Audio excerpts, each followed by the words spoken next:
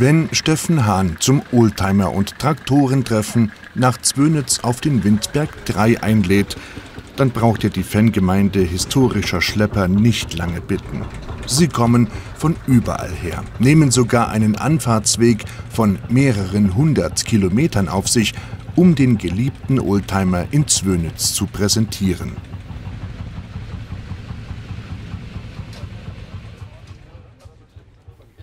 In diesem Jahr hat das Organisationsteam wohl einen absoluten Volltreffer gelandet.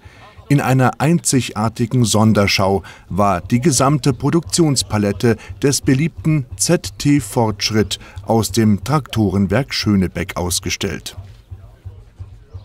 Also der Steffen macht ja nun regelmäßig, ja, die Familie Hahn macht ja regelmäßig dieses Oldtimer-Treffen. Und voriges Jahr waren zu Besuch Ingenieure aus Schönebeck. Und da hat der Steffen Hahn gefragt, ob es nicht die Möglichkeit gibt, mal hier wieder einen Vortrag zu halten über die Entwicklungsgeschichte der Traktoren, ZD, DDR, Landmaschinen. Und da kam uns die Idee, wir führen mal hier alle Serien des ZD zusammen. Es geht nicht darum, hier 100 bunte ZDs auf den Platz zu stellen, sondern das komplette Produktionsprogramm von den ganzen Modellen, die jemals produziert wurden, Kleinserien, Testfahrzeuge, Fahrzeuge, die nicht in der DDR gelaufen sind, Fahrzeuge, die noch nie jemand gesehen hat, wie der hier drüben, der war noch nie irgendwo seit der Wende draußen. Also der steht hier definitiv seit der Wende das erste Mal zu einer Ausstellung. Und so wie wir es jetzt zusammen gemacht haben, dass diese Fahrzeuge hier stehen, das wird so nicht wieder passieren.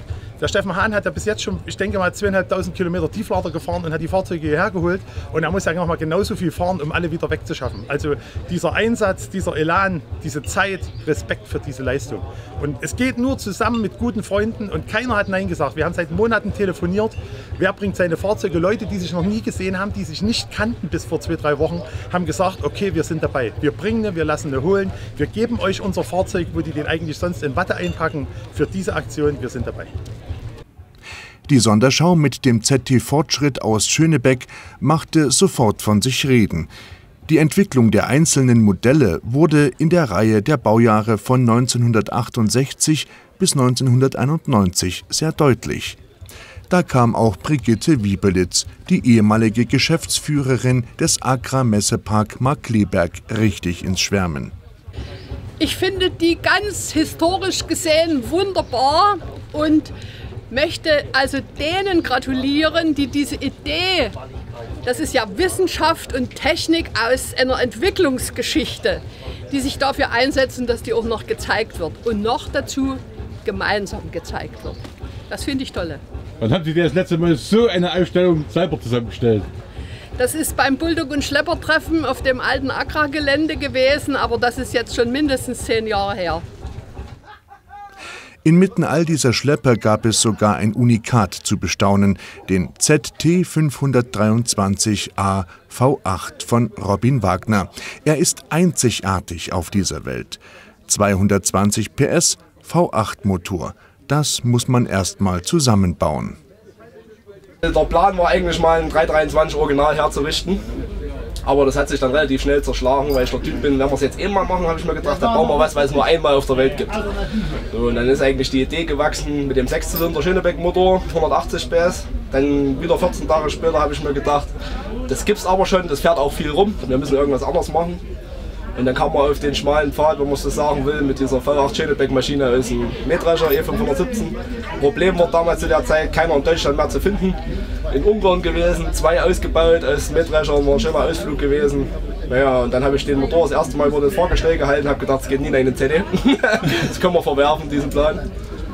Ja, und dann nach langem Hin und Her habe ich mich doch entschieden, wo nur noch der Rahmen und das Getriebe da stand. Jetzt machen wir halt einen großen Schnitt mit der Flex und legen den Rahmen auseinander. Und dann ist es wirklich so entstanden, du baust jedes Motorlager selber. Lager für Lager, Riemenübertrieb, Lüfter, Kompressor, Getriebe geändert, Eingangswelle geändert, Kupplung umgebaut, hat ja alles gar nicht für den Hubraum und Newtonmeter gepasst. Und dann nach zweieinhalb Jahren vielen Rückschlägen, oft auch Schnauze voll und Werkzeug in die Ecke hauen. Das ist das erste Mal rausgefahren und dann haben wir auch richtige Zugkraftversuche gemacht mit LKW hinten dran und man musste wirklich mit 20 km/h auf der Scharn mit vier Rädern und dann habe ich mich getraut, das erste Mal rauszufahren. Habe ich auch gleich die Dekra mit ins Boot geholt, die haben mir alles abgenommen, Rahmenverlängerung, Achslasterhöhung. Und das war mir halt auch wichtig, dass man einfach fahren kann auf der Straße. Kein Tieflader braucht, man kann zum Treffen auf Achse hinfahren, mache ich auch. Ich bin heute wieder 100 Kilometer auf Achse hergefahren mit Wohnwagen hinten dran. Ja, und das ist halt kein Standmodell, sondern man muss halt richtig was machen. Mein Hobby ist ja das Bremswagen ziehen. in Oberlungwitz hier beim Werner bin ich auch immer jedes Jahr vertreten mit. Also ich muss auch arbeiten, nicht nur Show und Shine. Ja, und ich denke, die Menschen hier sprechen schon ein bisschen für mich, für mein Zeug, was ich hier gebaut habe. Ich ernte eigentlich guten Zuspruch und das ist natürlich auch balsam für die Seele einfach. Ja. War das das letzte Mal so viel ZDs auf dem Haufen gesehen wie hier? Also ich habe es gestern gesagt, also wenn die alle miteinander abends gequatscht haben hier, die haben sich bestimmt lange nicht mehr gesehen. Also das ist einmalig hier, was hier betrieben wurde, der Aufwand. Ich bin ja selber in der Organisationsgruppe mit drin, seit über einem Jahr haben wir die ganzen Fahrzeuge hier zusammengetragen. Oder gerade der Herr Hömer und die, was hier das ausrichten. Ist schon sehr stark, sehr schön, lohnt sich auf alle Fälle. Und das Motto des Tages, ganz klar, nicht nur gucken, sondern auch hören. Da macht der V8 schon mächtig Eindruck.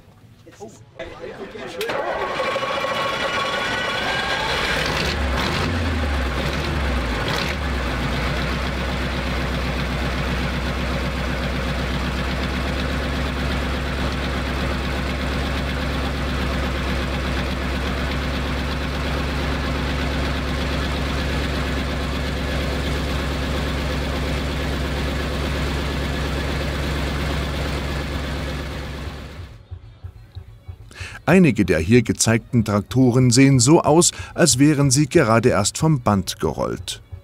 Andere wieder fristeten bis zu Steffens Traktorentreffen am 1. Juli-Wochenende ein Leben in Abgeschiedenheit.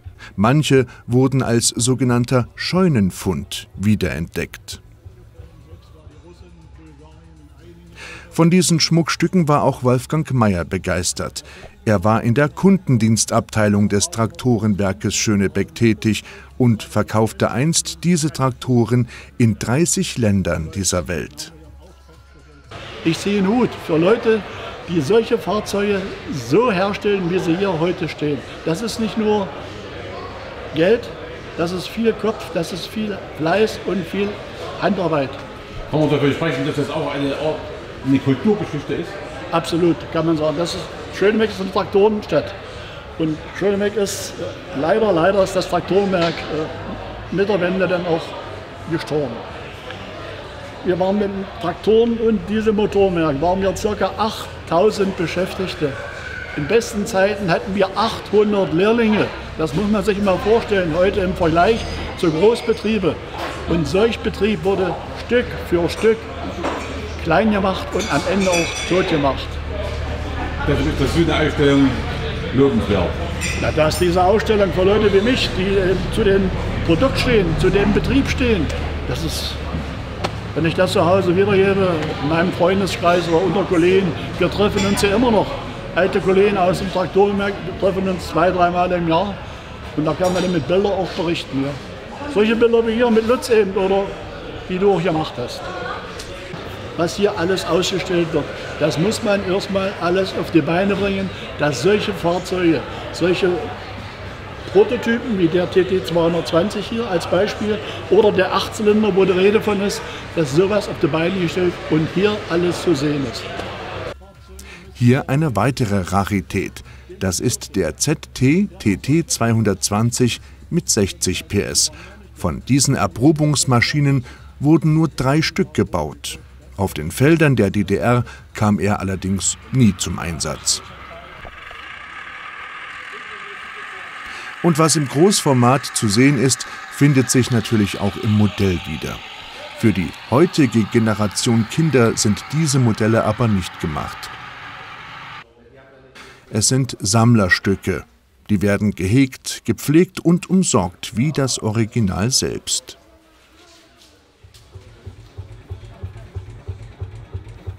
Den Lanz Bulldog hat Steffen Hahn aber nicht vergessen. Ohne ihn wäre ein Traktorentreffen unvorstellbar. Demgegenüber stand eine neue Generation von Schleppern. Ob auch diese einmal den Kultstatus erreichen, bleibt abzuwarten, ist aber eher unwahrscheinlich.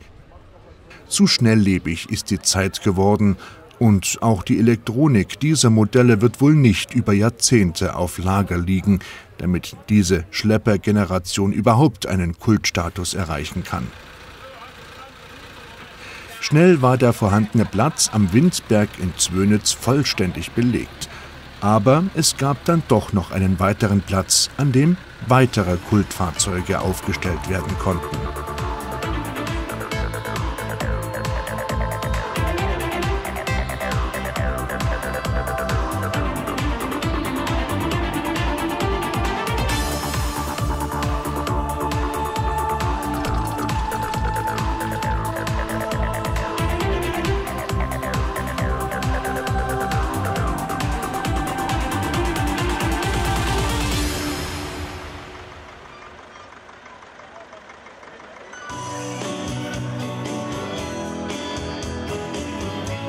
Den musikalischen Abschluss des Treffens markierte zu vorgerückter Stunde RB2 im Festzelt bei SH Landtechnik. Die bekannte Gruppe, ein Urgestein und in der Region bekannt und beliebt, spielte zum Tanz. Zwar startete der Abend noch etwas verhalten, aber zu vorgerückter Stunde änderte sich auch das.